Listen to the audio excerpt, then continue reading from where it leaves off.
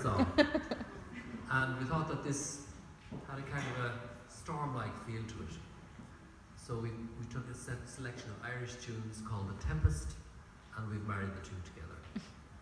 You ready? And this is by way, the, the virtue sax, uh, virtuoso sax player, Andy.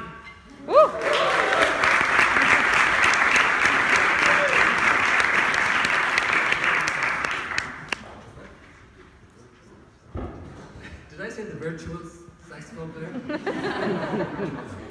okay. Andy says they're the best ones. What's that?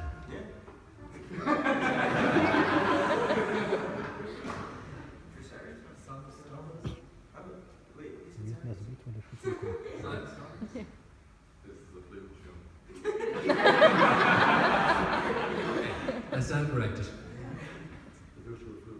Okay. We go from the virtual saxophone to the virtual flutes.